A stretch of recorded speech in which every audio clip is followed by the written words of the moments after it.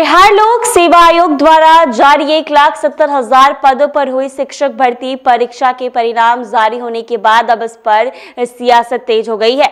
जहाँ एक तरफ़ बिहार की नीतीश तेजस्वी की सरकार इसे अब तक सबसे बड़ी उपलब्धि बता रही है तो वहीं दूसरी तरफ़ परीक्षा परिणामों को लेकर सवाल भी उठाए जा रहे हैं।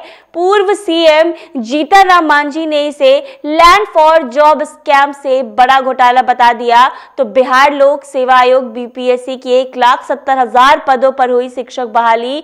परीक्षा के रिज़ल्ट में गड़बड़ी के आरोप लगा रहे हैं। इसे लेकर अभ्यर्थियों ने नीतीश सरकार के खिलाफ आंदोलन की चेतावनी भी दे दी है। तो वहीं दूसरी तरफ़, मांझी के सुर में सुर मिलाते हुए अब चिराग पासवान ने परीक्षा भर्ती परिणामों को लेकर राज्य सरकार को कटघरे में खड़ा कर दिया है।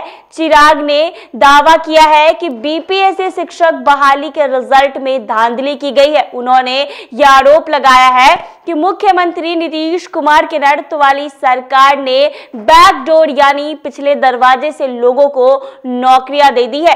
शिक्षक बहाली में भ्रष्टाचार हुआ है।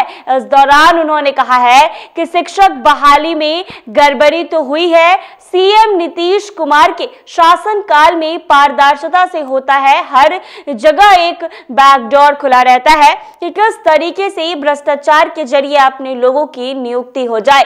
यही कारण है कि इतने सालों से नियुक्तियाँ लंबित होने के बावजूद आक्रोश देखने को मिलता है। बता दें कि चिराग पासवान ने नीतीश सरकार के खिलाफ विरोध कर रहे शिक्षक अभ्यर्थियों का भी समर्थन किया है। उन्होंने आगे कहा है कि शिक्षक नियुक्ति पूरी होगी या नहीं, आशंका है कि विवादों में उलझ कर रह जाएगी। चिराग पासवान ने शिक्षक बहाली में गड़बड़ी की जाँच की मांग की है। उन्होंने कहा है कि आज हमारी सरकार होती तो तुरंत इसका हल निकाला जाता।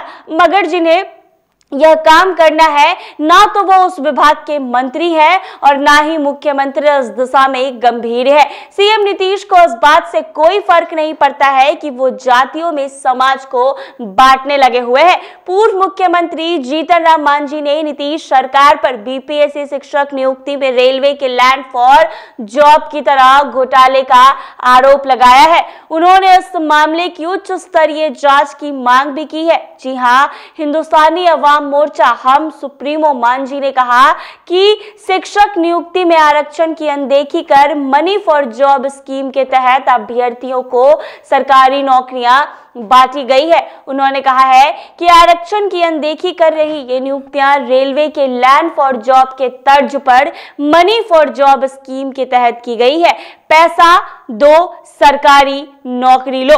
घोटाले की उच्च स्तरीय जाँच होनी चाहिए। बिहार सरकार ने युवाओं को बड़ा गर्क कर दिया है। बता दें कि मुख्यमंत्री नीतीश कुमार 2 नवंबर को पटना के गांधी मैदान में नव नियुक्त शिक्षकों को नियुक्ति पत्र बांटेंगे। नीतीश सरकार अब तक की सबसे बड़ी शिक्षक बहाली को सफल आयोजन बताने में जुटी है, लेकिन दूसरी तरफ़ शिक्षक अभ्यर्थियों के विरोध और विपक्ष के आरोपों के बाद अब इस पर राजनीति तेज हो गई है। अब इस पर सियासत तेज हो गई है। एक तरफ़ चिराग पासवान नीतीश सरकार पर पलटवार कर रहे हैं, आरोप लगा रहे हैं तो वहीं मांझी भी लगा रहे हैं। ऐसे ही तमाम अपडेट्स के लिए बने रहे एनबीसी 24 पर।